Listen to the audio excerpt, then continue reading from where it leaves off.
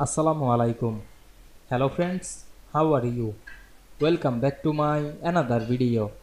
In this video, I am going to show you how to save Excel file name will open. Let's get started. At first, open your Excel file. Then go to the file menu. Click the save as option. Then select the browse option.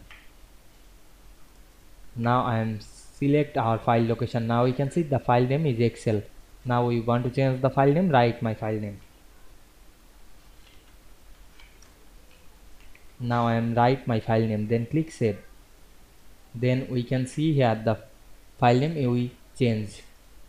Now we minimize the software and go to our location and we can see here the excel file we change the file name easily you can close this and open again click file menu select close option then go to file menu again and click open. Then open the demo file.